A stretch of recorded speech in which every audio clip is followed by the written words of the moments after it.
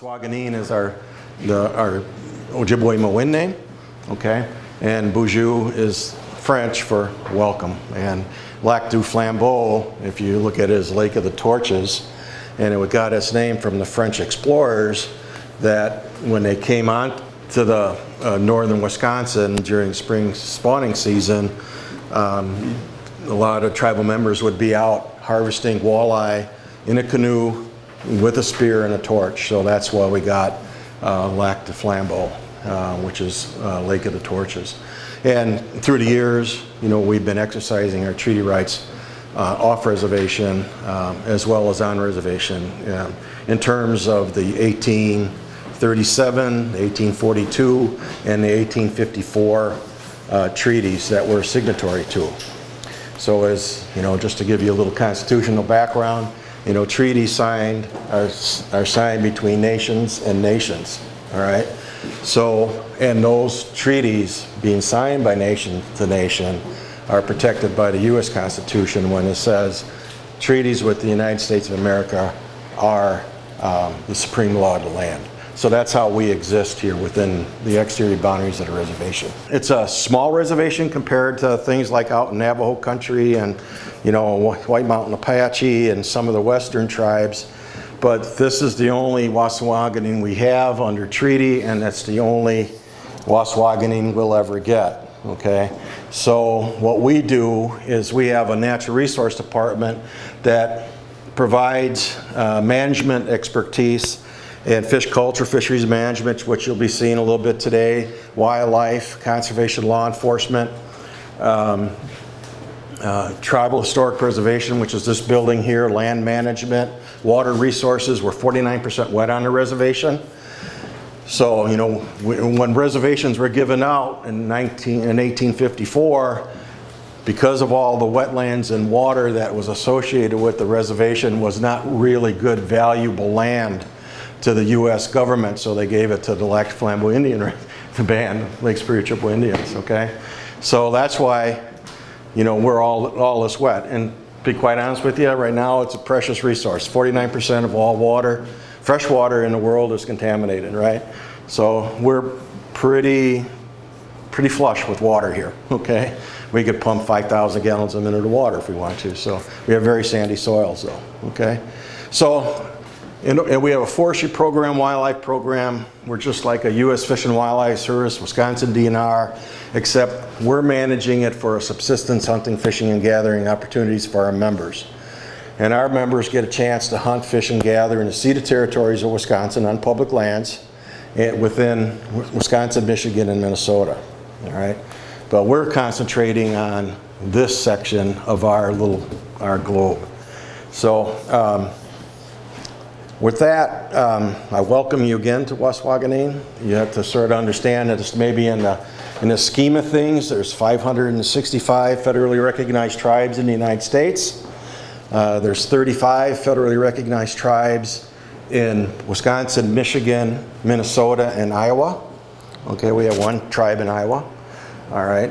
And there's 11 federally recognized tribes in the state of Wisconsin, and we're one of those. And then there's like eight, I think, uh, eight of the 11 are Ojibwe um, nations, sovereign nations.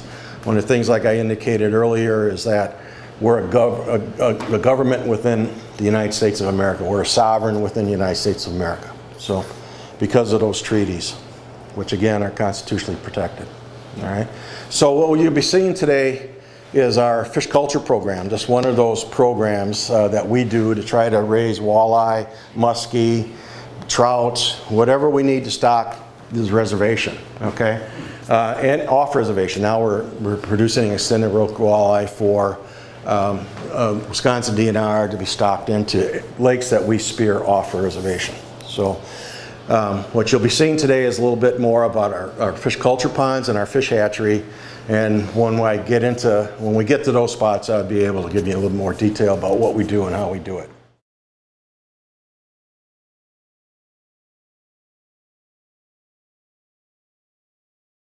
I've been in the industry for 32, and I did graduate from the University of Wisconsin-Stevens Point with a degree in fisheries uh, and biology. Immediately after that, I moved to Florida for nine years, and I worked for a company called Aquatic Ecosystems. Been with other companies uh, for, throughout the years, but I've been with Kasco for 19, and we're an aeration company and been doing it. Uh, this is our 50th anniversary this year but based in Prescott, Wisconsin, which is by Hudson, right where the St. Croix and, and the Mississippi River meet. Uh, that's where our company is located. So I always throw in something about uh, where I'm from, and this happens to be Lombardi trophies. Uh, you win them if you win the Super Bowl. You don't get them if you participate. I always say this over by Minnesota because they've been there four times and they have yet. Uh, they're not participation awards.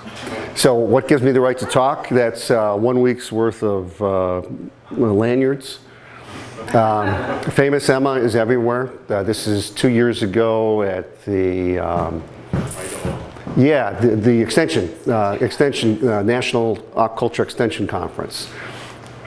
You know, so aeration choices. There's all kinds of them. And, uh, you don't have to memorize this from paddle wheels to aspirators to vertical pump aerators to airlifts uh, from the bottom or air, airlifts where you put air in uh, through the side and move it up. Or I'm sorry, this is a submerged pump, this is an airlift.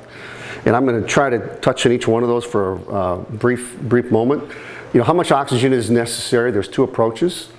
Sometimes it's based on feeding. Dr. Claude Boyd is kind of the industry guru on oxygen uh, sediment water interface. He's from Auburn University. And he says that one pound of feed requires one pound of oxygen a day.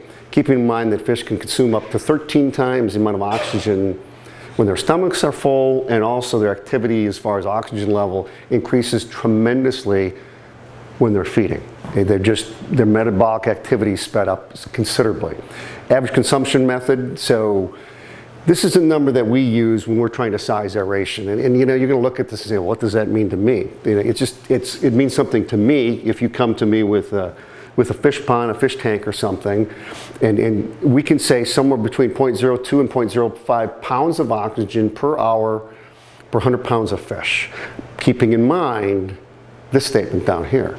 And everything is, every lake, every pond is different. They, they're like their own individual organism. Larry can tell you that those ponds in the hatchery, not any of them is exactly the same, even though they're exactly the same shape. As Gordy could tell you with the ponds that he has in, in uh, Northern Illinois. And so I'm just throwing out numbers that are generalities, but you see where fish are in terms of the amount of consumption that they're going to take in the pond. Plankton, you know, the plants that are in there's 50%. Sediment oxygen demand could be 30%. And fish in a pond might only be 20%. So it gets to be a little bit more complicated in terms of what you need to take, what you need to use to satisfy the oxygen requirements within a pond. So why aeration? You know, to increase fish growth, health, fish kills, reduce fish kills. You can control some algae that are in the ponds. You can um, get rid of the organic muck layer on the bottom. You can process nutrients and bind up some phosphorus. Uh, clarity can increase as well as uh, turbidity. Tur turbidity can decrease debris, trash, surface film, you know, you can push that stuff, like pollen, you can push it to the edges of the pond and uh, it, it, will be more aesthetically pleasing to look at at the very least and sometimes there's some oxygen demand associated with that. When you get it really covered sometimes there's not as good of oxygen transfer at the air-water interface where the majority of the oxygen takes place outside of photosynthetic activity. Mosquito control, you know, if you cause a current there are certain species of uh, mosquitoes that don't do well with current. One stage in their life cycle, they take a siphon and they hang at the surface tension. If you can break that surface tension, you could basically drown them because in that stage, they're air breathers. And so just, you know, that's why everyone says you don't want spare tires hanging around the backyard because they can get in there, they can breed, and there's no current in there, so they're going to breed and multiply. Yeah. So what aeration can do, it mixes to make it uniform top to bottom. Fish have access to the entire water column. The organic uh, uh, stuff is going to be reduced and you can stimulate some beneficial bacteria within the pond. Th this is where the quiz will be at the end. You've got to memorize this chart here. Now, basically, it's just talking about, uh, you know, it, it, it's a cycle. You can just look at it. I'm not going to get into it. Um, The quick answer is to, to support aeration is you don't want to plant your fish. You, you want to basically harvest your fish. You know, unless you unless you're growing them for fertilizer. Yeah, pond aeration is two strategies: feed the gain, aerate to get fish to harvest faster, shorten the risk. Aerate to increase density and more pounds per acre. This one is being studied quite extensively down in the in the Mississippi Delta, and so what they're trying to do um, is uh, basically not stock as many fish, but feed them more, have, them get to harvest faster, so that you reduce the risk, as opposed to increasing densities when you have greater um, um, greater aeration in your pond.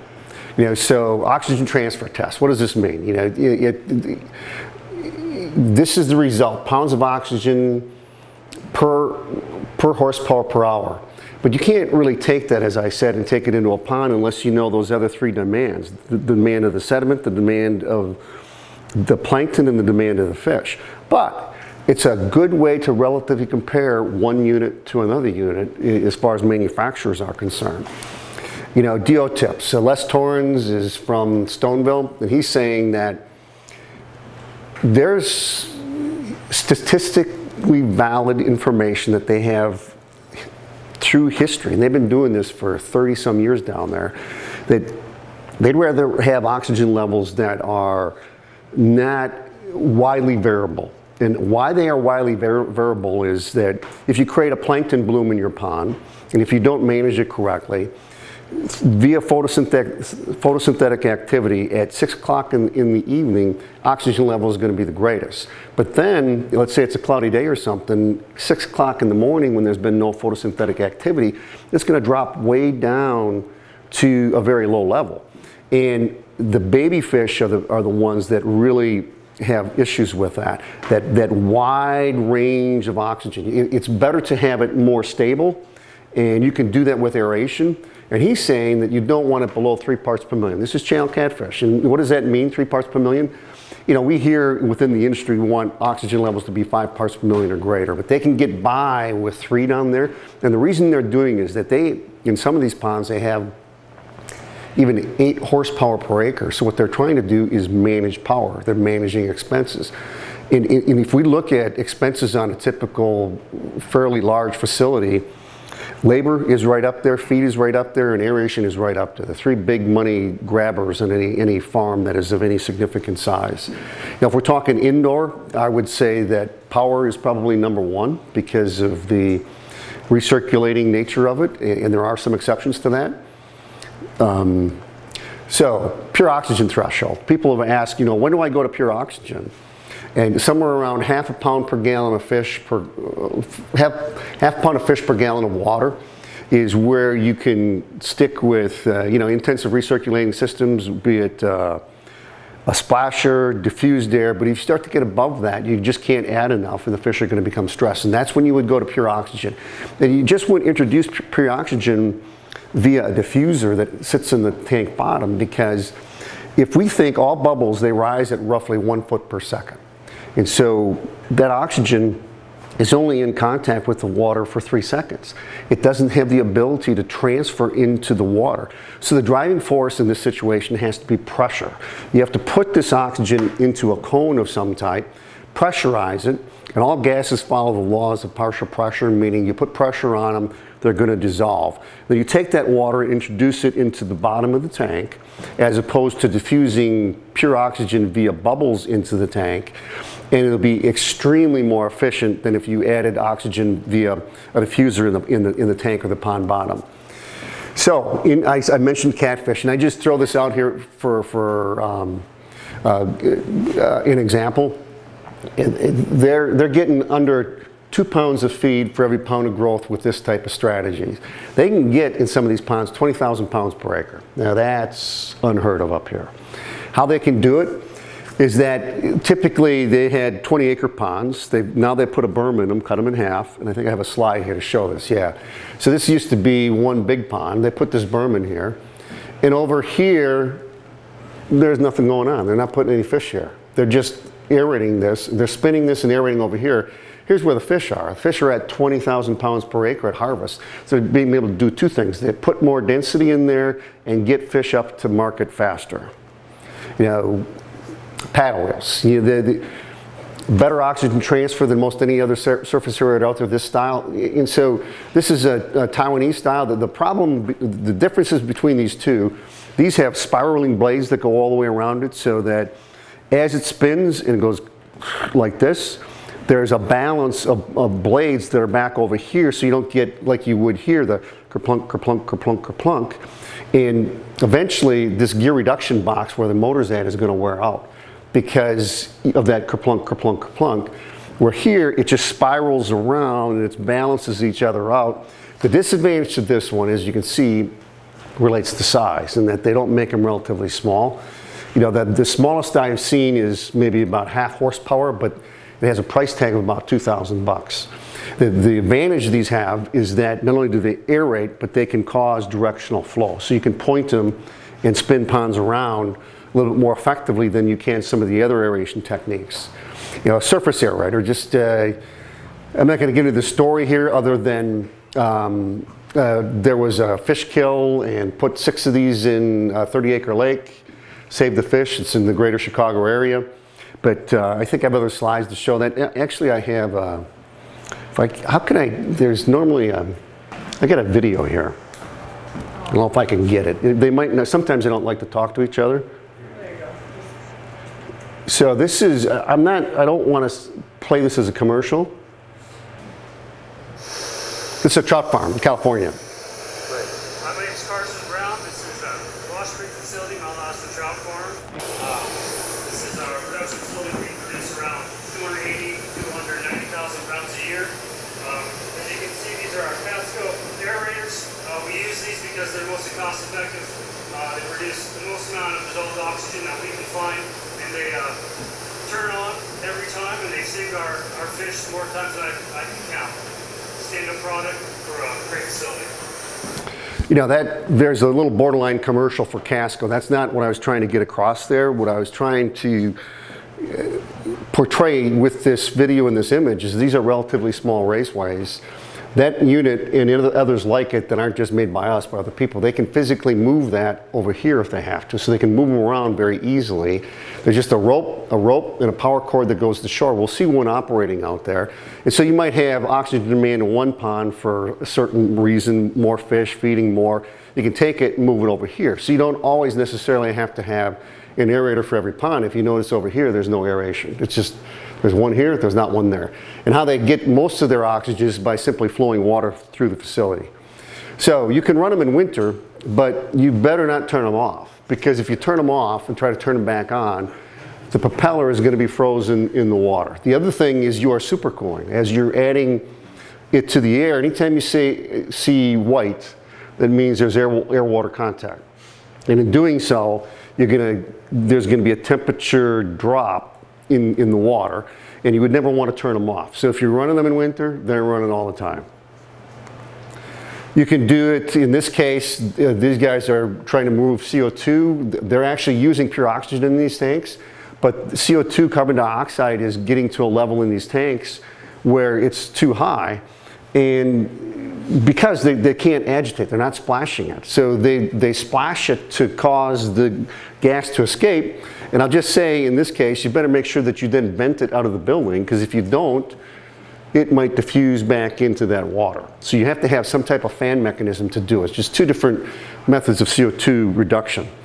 You know, surface aerators, uh, you just, cage culture. I, I, I've probably heard in my professional career 5,000 times, how should I get started? What species should I raise? And, you know, something as simple as, not of this magnitude, but a few cages. You think of it as um, they're all there. I don't have to worry about how I'm going to harvest them because they're all in this cage. And I can get my feet wet and really know what's going on here. Are they feeding? Are they not feeding? And at harvest, I can take them all out. The other thing is if you have them highly concentrated in a small area like that, you're going to have to have some way of moving water through there so that we get oxygen through there, whether it's diffused air, surface aeration. These are net pens down in Chile where we, we have a blower in this building and there's diffusers and this is 50 foot deep. So we're just lifting water from the bottom to the top. They're raising salmonids here.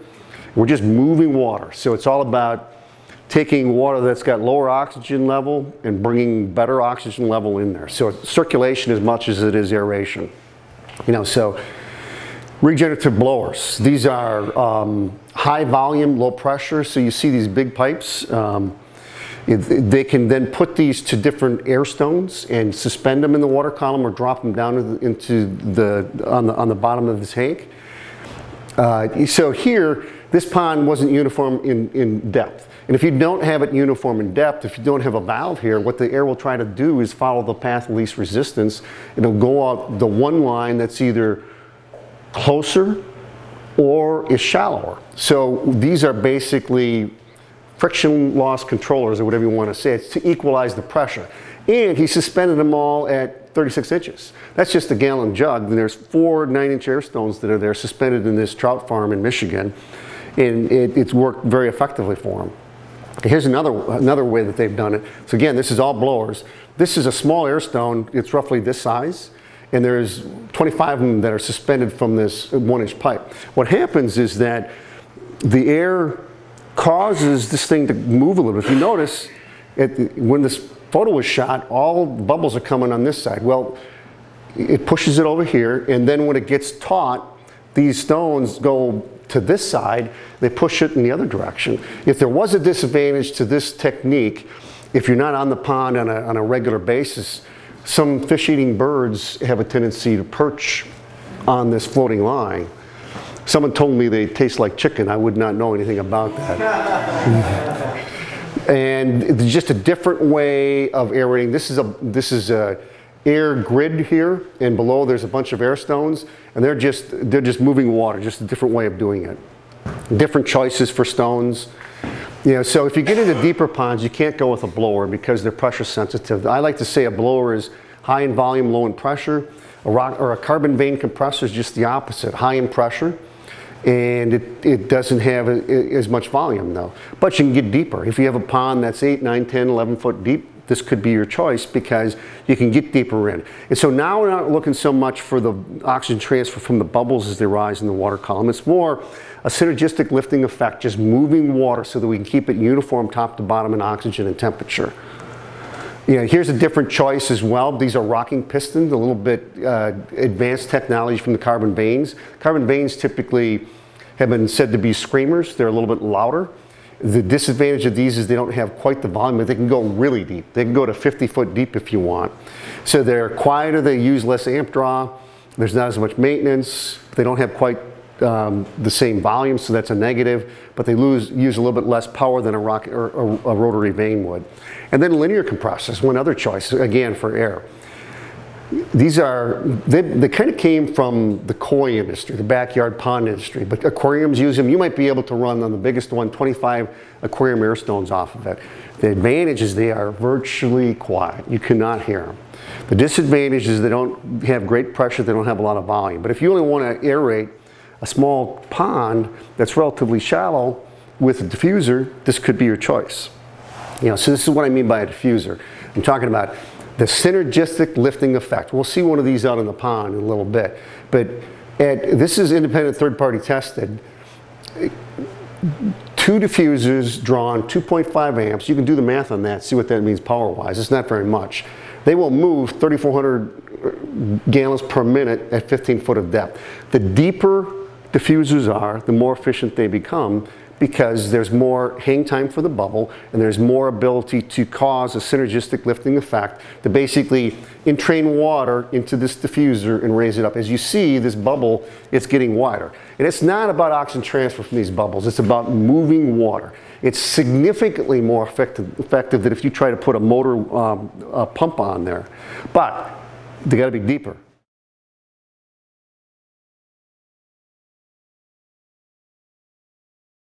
If we take a look at these uh, project reports, I'm going to start with the one that's dated 2007. So what these are meant to do is kind of provide uh, a basic overview of the, how we raise fish for a year, you know, from start to finish. And I think as other speakers have mentioned, and you guys have heard this over and over and over, it's, it's different for every facility. So not one facility or one pond is the same. You have to treat those differently. So you can't think that there's an easy cookbook that uh, will allow you to, you know, just put this much fertilizer in this pond and this much in this one and this, and then just do the hokey pokey and voila, you raise fish. It's not that easy. Uh, raising fish in ponds is an art.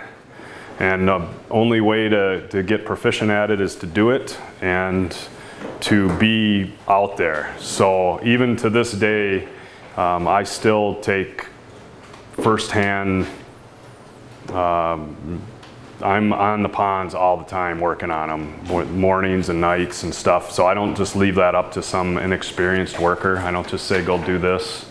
I'm out there taking care of it myself and uh, looking at the ponds and looking at the fish. And you gotta keep that in mind as you go through this. So how many of you are gonna maybe raise fish in ponds? A Few of you. What species are we interested in? Perch and walleye. Perch and walleye, Trout. trout, rainbow, Probably. and walleye. So um, different things, you know, if you're raising walleyes and perch in ponds compared to if you're raising trout in ponds. Uh, a lot of different things are going to come into play.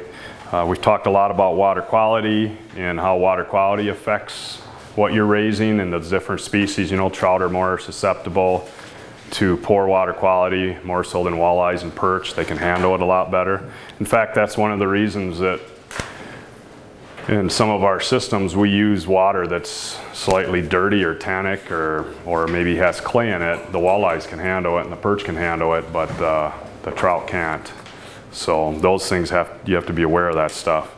But so if you look at this report and this walks through the whole thing, I just wanted to take a few minutes and kind of talk about them and show you some of the equipment we use. And then I think Emma has a few videos of stuff in action. And we're going to try to get out to the ponds if the rain holds off and, and do some stuff so you guys can get a feel for it and see how, how it works.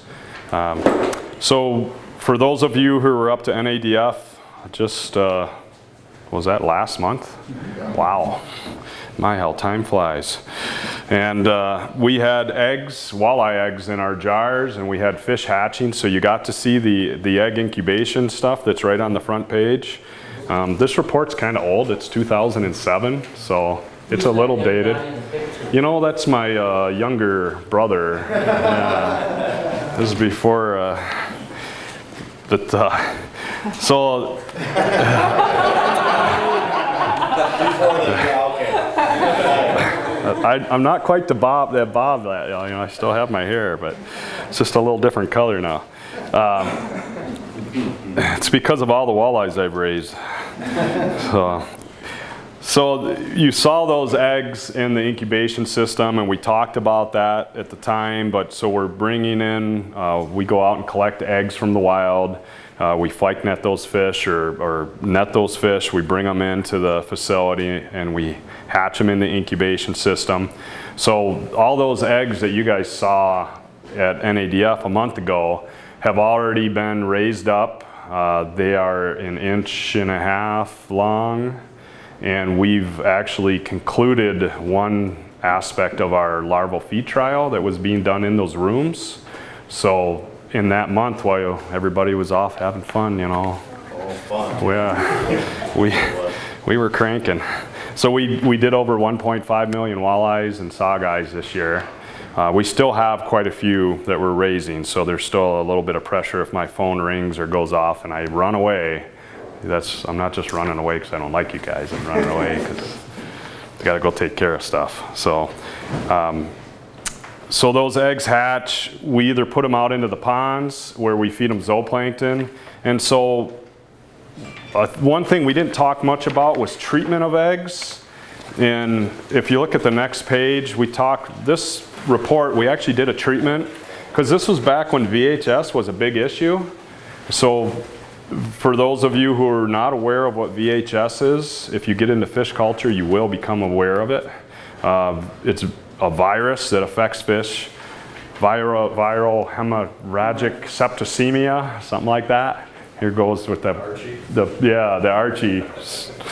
But we know what VHS is. It's not the big thing you plug in The- Who, who remembers those? Yeah. Uh, I made that mistake the other day. Yeah. Does anybody have a record player? Yeah, a couple. right.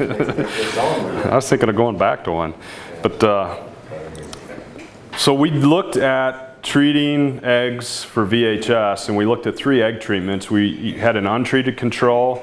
We treated some of the eggs with 100 parts per million iodine, which was milk mixed in when the eggs were being fertilized with the milt, uh, because there were some people that were saying, you know, it's it could be in the egg, and when, you know, once the egg closes up after a short period of time, things don't get in there. But so we treated it with iodine during that process, that water hardening process, and then we also treated them after water hardening. And there was a difference. Um, we did find that you know our untreated control was at 63%. Treating with iodine at the same time we added the milt, we only had 25% hatching percentage or hatching survival. And after water hardening, we actually had better. We had 75%. Um, I doubt if that was statistically different than the control, but uh, it's something to be aware of. And the 25% definitely was statistically different, and that's an issue. So if you are getting eggs from the DNR and they're going to give you 40,000 eggs and you need 30,000 fish, you don't want to treat them with iodine when they're being fertilized. Um, and that's actually, it's an interesting point because different agencies have different ways of treating and different levels of treating. And there are differences between those treatments. And there's a lot of discussion about that. We found that treating after water hardening with iodine for 10 or even 15 minutes at 100 parts per million is okay. And it doesn't seem to affect our success rate. So that's something to be aware of if you're getting eggs from somebody. Um, be aware of what you're going to start out with. So with pond, this is a pond incubation workshop or pond incubation boot camp, right? Or pond incubation, pond boot camp. Oh boy, sorry. it's been a long week. Um, strong swimming fry that are three to five days old after they hatch, of course, they're stocked out into the pond. So Larry talked about this a little bit when we were out there. So we do the same thing. You know, most places that raise fish in ponds do the same thing. I don't, Gordy, when do you guys stock your fish or is it the, The same? ponds? Yeah, When they hatch. when they hatch, so. Same kind of deal. Um, you saw at our facility, we collect them in a tank. They're strong swimming. Larry had the same thing. He's got an upwelling tank where they come out of the jars and then they upwell. And then he puts a light over them and he does he collects them and then they stock them. And it's just you know, a couple days after they hatch is pretty common. And then there's different densities of how many fish to stock into the ponds. And then there's literature out there to talk about how much to do, or, and it, but it depends on your protocol, like what you're trying to get to at the end. If you stock less fry in the pond, generally those fry are going to be a little bit larger, uh, quicker, right? Because there's just less competition, less density, and you might they might be a little bit more robust after 30 days to where if you have a lot of fry in there. But you know we've had some people that came to us and have said you know we don't care how many how big the fish are we just want a lot of fish. So in that instance i would overstock my ponds maybe a little higher get more fish rather than a bigger fish. So you got to think about what your product is and where you're headed. Um, a lot of times what we would do at NADF is we stock the ponds with fry, we raise those for 30 days, and that's, and you're kind of, you're building your plankton levels with fertilizer, uh, and you're, you're raising those fish for 30 days, and after that 30 days, the plankton kind of crashes, and the fish are also looking for bigger particles, so they're looking for something bigger to eat, and they'll eat each other, or they'll eat chironomid larvae, or they might eat pinhead minnows, you know, you have to make a decision and we've had people where they don't make that decision quick enough and then those fish are gone. You don't have time to mess around. With VHS, if you're gonna move your fish around, you have to get them tested immediately as fry and then by the time the 30 days is up and they're ready to come out of the pond, your fish health sample is done. It's a 30 day test pretty much. And uh, so if you don't, if you forget to send your fry in, all of a sudden you get to 30 days, you're ready to harvest your fish, but your disease sample's not done, you can't move your fish. They're done. Um, the DNR ran into this uh, a few times, both because of the, uh, the disease sampling and also they couldn't get minnows when they needed them. They couldn't get the pinhead minnows and they lost a lot of fish because of that. So all that work is just going down the drain, literally. So you got to think about this stuff ahead of time. So in, you, in the labs, you have to set your disease sampling up ahead of time. You can't just call them and say, hey, I'm shipping fish tomorrow. They'll say, no, we're full, because everybody's doing it in the spring. So you got to set things up ahead of time. So those are just little tricks and things. Um, we fertilize our ponds uh, with alfalfa meal and soybean meal, uh, but generally we use alfalfa meal, and so I talk about that in this report. It talks about starting out with 400 pounds of alfalfa meal, and then we use 2.25 gallons of liquid, 28% nitrogen urea, and then one pound of granular phosphorus. Sometimes those things change, like the inorganics, you can't always get what you want, so you gotta find what you can get and make it work. And um, so these are just examples of what we did, and we tried to add some cost factors in here for that. So we would put fertilizer in the ponds before we add any water. And then we start to add a little bit of water. We put about a quarter of the pond, pond water in there. We let it warm up a little bit, probably about a week before we're gonna put fry in there. And some people are like, well, why don't you just fill it up right away? Well, we have a problem in northern Wisconsin is that our water is cold and uh, we don't get warm weather for a while. So we want the sun to bake that shallow water and and heat it up and get that plankton, get that bloom going.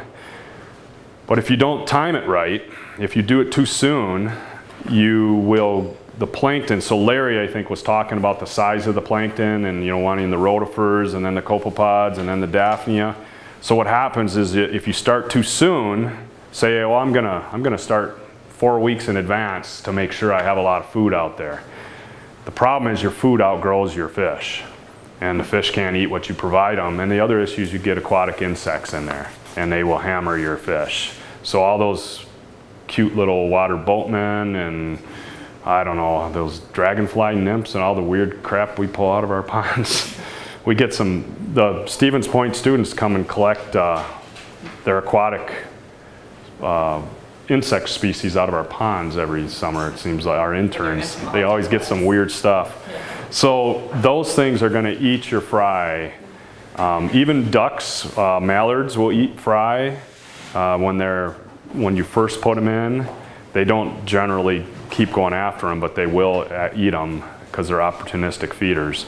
So you got to be aware of all these things. And so timing is important. And so I talked about pond management being an art, and this is where the art comes in. It's not honestly raising rainbow trout in a uh, raceway or in a tank for me, I mean, it's simple. It's like raising pigs. And uh, I never raised pigs before though, so. But uh, it, it's a real scientific thing and it's really simple compared to pond, pond raising. Um, there's so many variables and the weather, so when you're gonna fertilize, like Larry talked about the weather, about fertilizing around the weather, like probably wouldn't fertilize today because you got these weather things coming through. But my fish need feed. What do I do? You know, you got to figure out ways around all this. But so we stock our ponds with a little bit of fertilizer, get them kind of jump started. We add a little bit of water and then we slowly start adding more water. So this talks about that. These kind of go through what we did and um, talks about providing aeration, aeration and uh, and then as we get to the end, uh, talks about some of our results. And so it's, I think this report is a pretty good overall view of what's going on in the ponds.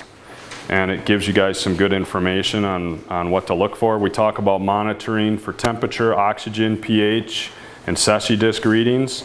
And at the back, we have all those displayed for each pond. And you can kind of walk through that stuff. Excuse me. And so what we typically would do is we raise our fish, our small fingerlings for 30 days. We then harvest those fish. And for at NADF, we get an exact total harvest. So we draw them all the way down because we have ponds with kettles. So if you guys were out there, you saw the pond and then it drains into a kettle or a, a collecting basin. Larry has that in his ponds too. We might get to see that here in a little bit. And um, it really works well for uh, collecting the small fish. We've noticed that instead of pulling a seine through the pond, it doesn't seem to cause as much stress. And it's less stress on the fish and it's less stress on workers. Um, and if you harvest walleyes, think about when that 30 days is. Like for Larry, it's going to be in another two weeks. I think he'll be 30 days and it's going to be hot. Oxygen's going to be low, sun's going to be high. You're pulling, and if you seine those fish, those fish are going to get stressed. And they get a thing called whitetail. And whitetail, once, once they have it, they're done. They're finished. You'll, they'll never get, they'll never recover from whitetail. And that's another big issue with harvesting fish out of ponds. And, you know, we've had groups tell us, you know, they, they would pull all their fish up into the shallow end of the pond because that's where it's easy to work. It's also where the worst oxygen is, the worst water quality, the hot sun, the birds, everything. And then they wonder why their fish die. And so that's, those are poor decisions. That's a management decision, you know, don't do that. And uh, you want to maintain good oxygen, good water temperature, a lot of water exchanges, and take care of those fish. You put a lot of time and effort into raising them and getting them that far. Don't shortcome it. You know, on days when we harvest and stuff, we come in early. Sometimes we stay late. We don't always work in the middle of the day, or maybe we put a tarp up to block the sun. Um, you think about all those things, and that leads to success. If you skip corners and miss those little things, that's what, what causes problems. Um, so looking at this report, we would harvest those fish after 30 days. We get a total amount of survival of those small fingerlings. And so from an egg to a fry, we expect to see about 65% at NADF. If we do better than that, that's great. If we do worse than that, uh, it's kind of a bummer. But 65% is kind of our long-term average. Sometimes we see higher, higher numbers, sometimes we see lower, but that's kind of a realistic number to shoot for. And I was talking about this earlier, you know, you talk to some of the hatchery managers around the state or around the, and you'll ask them, well, how, you know, what's your survival? And they'll be like, oh, we got 95%. And I'll be like, really? Show that to me. I'd like to see it. Because I guarantee you they're lying to you. Uh, no, I mean, and it's really funny. I had a private guy who's a big fish farmer and uh, very knowledgeable and been at it a long time. He asked me one day, he says, what's your success rate at NADF on walleyes? And I said, 65%. And he said, thanks for giving me an honest answer. And because he said the same thing. So 65% is a good number. I mean, you can do better, you can do worse. But so then we, from a fingerling, so we would put the fry, excuse me, from a fry to a fingerling, we again are looking for 65%. And I think, and this year, I was looking at my results, we had one pond that got like 79% and a different pond it only did like 56% or something, or 40%. You know, but the average for all the ponds kind of comes out to that 60, 65%, somewhere in there. But it, the ponds are gonna be different. We have one pond that consistently outperforms the other ponds on either side of it. I don't know why. We treat them the right way. I mean, we're careful with them and we watch them and we give them what they need and it still just seems to outproduce other ponds. So after 30 days, we would pull those little fingerlings out, carefully count them and enumerate them, come up with our numbers, and then from there we split them up. And some of those fish would go back to our cooperators, like if we're working with maybe Red Cliff or Lac Courte Oreilles, and they would get stocked back into the waters, but then the other ones go back into a pond, and we would put minnows on top of those at that point. Because after 30 days, they want something bigger and they want something else. And walleyes are piscivores, so they want fish. So we give them pinheads like Larry talked about, and we buy pinheads from Arkansas via a Wisconsin fish farmer. And they're totally health certified and they bring them up and they're, they're really cheap. Right? Anybody listening? Yeah. So we'll spend about $10,000 on minnows to feed walleyes. And it's a huge part of the cost to raise the fish. Um, but you start with these little pinheads, you get a load of tuffies, they're called. They're, they're little, tiny little minnows, number ones and number twos. And you do a couple weeks of those, and then you switch to a normal size fathead. And then you can raise your fish out to get a, a walleye like that. So you're looking at a six to eight inch walleye. That's what the state wants, a minimum of six inches. So if you're gonna do any cooperative work with the state, the average has to be six inches. And um, you, you get those on minnows in the pond. And then, so like Larry mentioned, the rate of stocking minnows to, pond, to the fish. So think about all this, you know, you gotta order all this stuff ahead of time too. So you can't just wait and say, oh yeah, bring me, bring me 500 gallons of minnows tomorrow. Your order has to be placed like in December for June. And uh, so you gotta kind of know what you're doing a little bit and gotta figure this stuff out ahead of time. And then you better hope that you're able to raise those fish at the rate you think and you hope Mother Nature's cooperating. I mean, this year we got a wrench thrown in because things got delayed. We were delayed by several weeks. And so it changes the whole schedule. Um, I mean, think about, I know when we originally looked at the schedule for boot camp, we were like, oh, this week looks really good. There shouldn't be any, any, anything going on. Well, the last couple days we had to harvest our fish out of our indoor tanks and get those measurements off of them because they were ready to go. And they don't care that we have boot camp scheduled. so, um, and the same thing, so you think about this stuff down the road and ordering minnows, um, arranging for fish hauling and getting fish stocked or, or moved around, all that has to happen in advance. And um, so ordering forage minnows, like Larry was saying, I think he mentioned the ratio of five to one. Uh, I have listed four to one in this, and sometimes I throw out the number of six to one. So between four to six to one, so that's four to six pounds of forage for one pound of walleye. And those minnows are expensive. So you really don't want to buy more. So we talked about maybe going, why don't you just do eight to one? Problem is, is you spend all that money on them walleyes and they just keep eating and eating, kind of like we did with that fry bread, you know? And uh, they don't really realize they're already satiated and they're not going to grow anymore. They've eaten as much fry bread as they can eat, but they'll want more. They'll just keep eating it. And uh, so you want to min minimize how much forage you provide to the fish, but you want to hit your target goal. So that's where sampling those fish regularly. So we're sampling every few weeks in the ponds. We are using a seine to sample, but we do that carefully. And uh, again, you, you got to manage for water quality throughout that whole process. Um, so at the end of this, we harvested, so we backstocked these small fingerlings into a pond. We stocked 11,686 in one pond and 16,696 into another pond.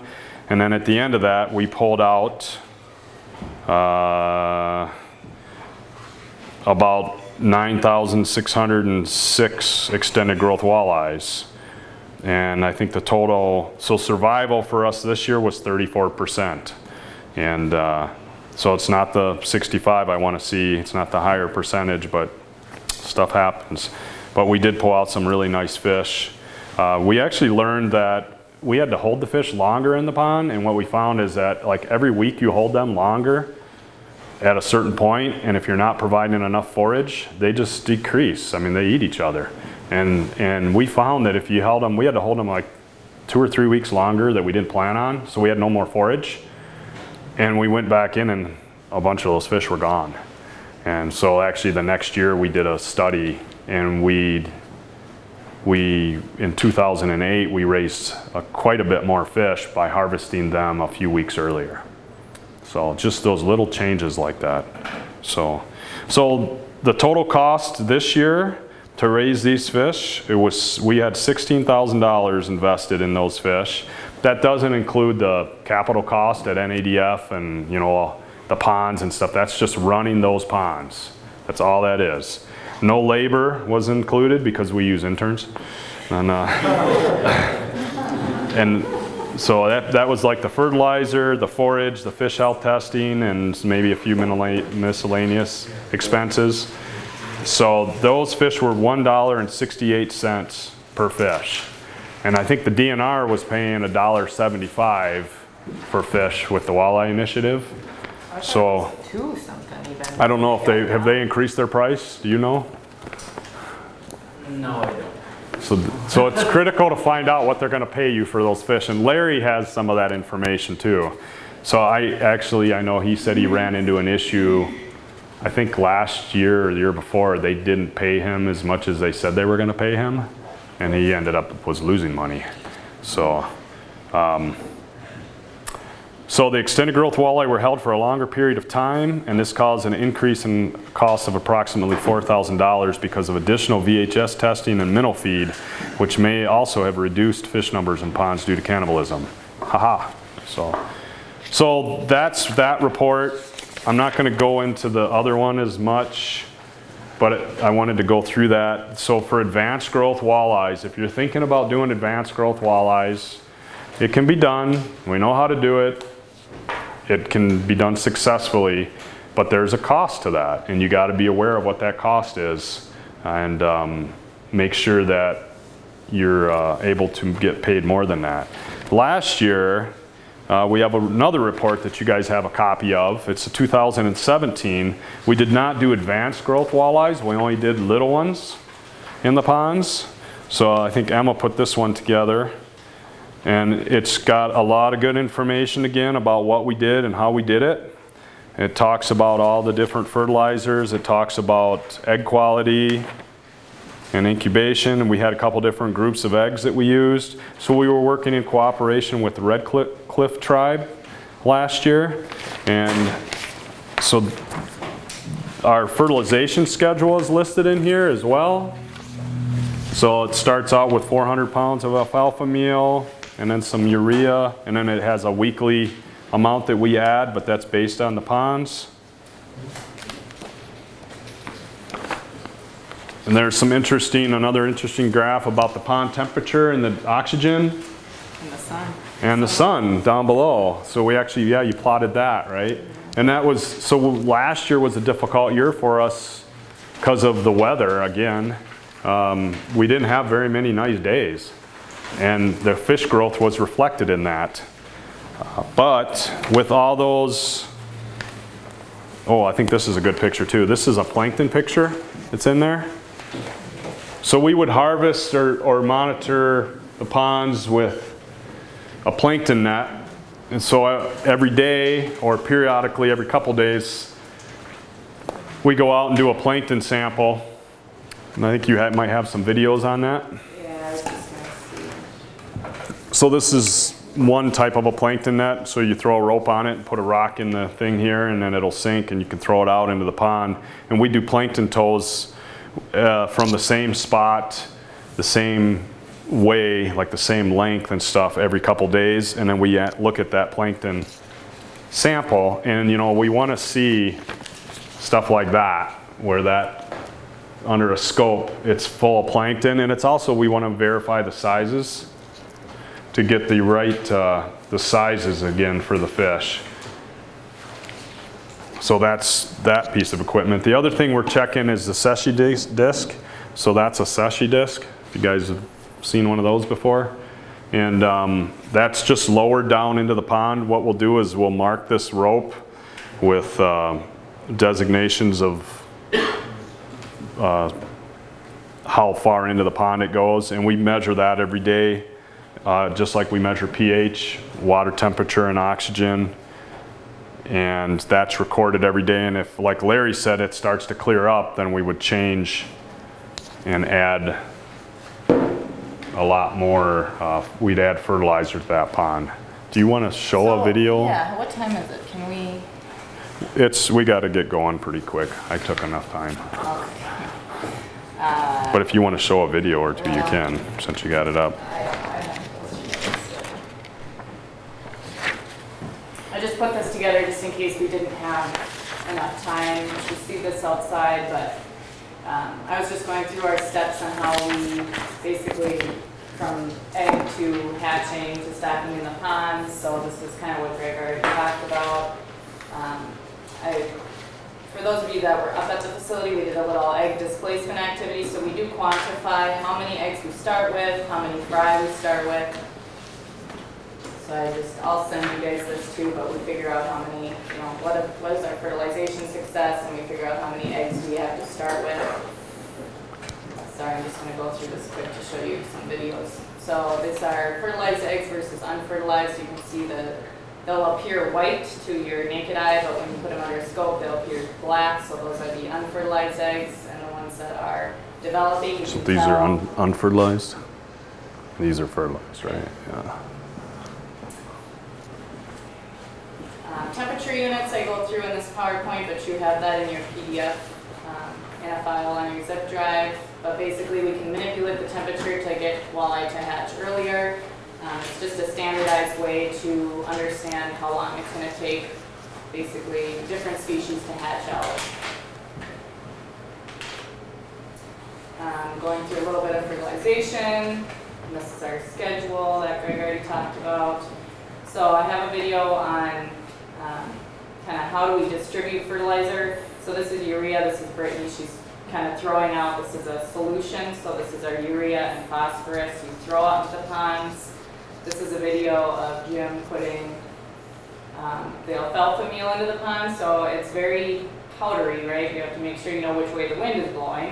It really helps out, but you want it to spread, you put it on one side and the wind will pull that um, kind of, it floats along the top of the water, so you want it to pull across the rest of the pond. And you can always tell who the rookies are, because Because they come back and they're all green. And we want to fertilize on a base, on a sunny day, so that, you know, we're utilizing photosynthesis, that phytoplankton are using those fertilizers.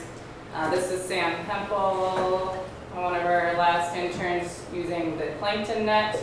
So basically, you throw it in, we do three tows, um, just because that's our pond, we can kind of understand, you know, the length of the, um, of the rope there, and then we can kind of basically understand how many zooplankton are in that area of space.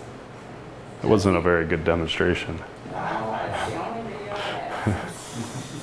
We'll see who can be the best plankton thrower. Yeah, So unfortunately, there's a lot of ostracods or clam shrimp in that pond, so it was pretty, pretty turbid because of the clay. And that's not necessarily a bad thing, but we had a ton of clam shrimp in that last pond. Uh, this is that Secchi disc here. So again, you're lowering it down, and when the coloration, you can't tell from black to white, that's how, that's the depth of your, your turbidity. And we want to stay within a foot, right? Is that, that's what our. yeah, that's what we stay, we do. That's for a wildlife, correct? Yeah, And yep. that's for, yeah, that's, so if you have a clear pond, like Larry said, that's dangerous, that means you don't really have a lot of phytoplankton, not a lot of production, your walleye are gonna be cannibalizing more, there's just less, less in that pond. Um, sorry, so this again, the light up against the tank, we're getting that strong swimming fry right when they hatch out, so these are three to five day old fry, sorry, you can't, do you wanna flip the lights, actually? Sorry. Um, this is our larval Jensorter larval counter, so we're pouring those strong swimming fry into that larval counter, and there's little tubes that the fry go into, and there's kind of a light that is counting each and every fry. So you can see when it lights up like that, it's counting every fry. So we're getting a really good number of fry. We know exactly what's going into those ponds. Unlike Larry, he's doing a volumetric kind of displacement with those fry. It can be, you know, off here and there. We get, I think we stock anywhere from 80 to 100,000. Into the per- ponds? into Yeah, it half just, acre. just depends on what the management goal is. When you guys do that volumetric thing, um, like we were counting out the babies, um, For eggs, yeah. So those fish are gonna be all dead, right? They're gonna be, The eggs? how else, how else would you count them? I mean, right, when you count them? When we're doing, um, I was talking about fry. The fry? After they've hatched. No, they're still alive. so you would mix up like a bucket of water and then take a random sample and you count how many are in ten milliliters. And then you'd say, okay, if ten fry are in ten milliliters, how many fry are in the amount? Then you And then multiply extrapolate that that out back to to your volume, to your total volume, yeah. You could kill those ones in that little milliliter thing if you wanted to make it easier. But we usually count them, they're swimming around, they just net them out, so. Yeah. And then when we're stocking fry, we want to be tempering them, so we want to make sure that they're used to the water temperature that they're going into. Um, so we're managing that. We want to make sure that our plankton numbers are, sorry, the video's kind of, see very good. That we have high plankton levels before we put them in the ponds, but we want to make sure that the ponds are good oxygenated, probably on a cooler day. Yeah, this is, so we're actually adding water right here, right? But we're adding fry too. Um, and I don't know if this pond was too hot or something, or if we're just trying to start to get the level up a little bit. Um, but that's, in the summertime, we'll add cold water when it gets really hot. So Bob Robinson was talking about how the, the windmills don't work when you need them because it gets hot and it's still, and the water actually, we'll get a, uh, layers, the water will stratify in our ponds. So we use aeration to keep it stirred up, but we run our aerator at night. We don't run it in the day because if you run it in the day, it'll superheat the whole pond. So we only run it at night on timers. And then we add cold water to build up a layer of cold, cold water that's highly oxygenated so it's there for the fish. And then at night, you know, that all gets mixed back up. And that allows us to get through those hot summer months of August.